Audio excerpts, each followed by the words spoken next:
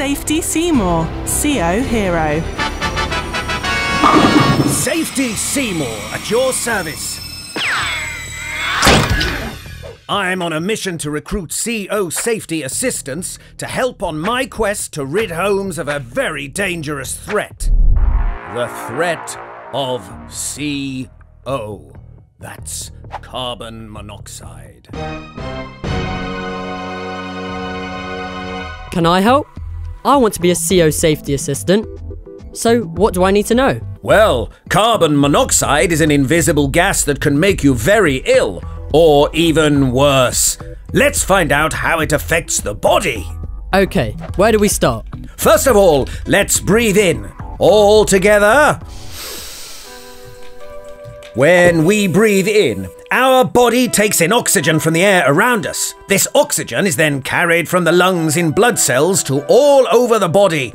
The blood cells are a bit like teeny tiny delivery drivers. Have a look at your wrists. I can see blue lines. They're my veins and arteries, right? Yes, and they act like roads for the blood to travel around the body. Except without traffic delays. Indeed. Now, imagine there's carbon monoxide in your home. If you breathe it in, it also travels down to your lungs with the oxygen and gets picked up by the same delivery driving blood cells, who carry it around your body. So now, as well as delivering oxygen, the blood is also delivering carbon monoxide. Exactly! And as the poison gas starts to take effect on your body, you'll begin to feel poorly. How many organs can you name in your body? Um, well, there's the heart, kidneys, liver, and our brains. I want you to imagine that you are all of the different organs in the body and you're starting to be affected by the carbon monoxide. You are going to slowly deflate like a balloon until you feel floppy and dizzy. You will also feel quite sick. I think I'm going to fall over. I don't like it. The carbon monoxide is being greedy and taking all the oxygen for itself. It's starving your body of oxygen and making you feel really poorly. It can even cause death.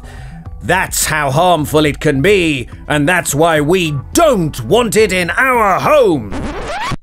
Right, let's jump up and shake off all those unhealthy feelings. On your feet and breathe in some good, healthy oxygen. That's better. I can see why we needed carbon monoxide alarms around our homes now.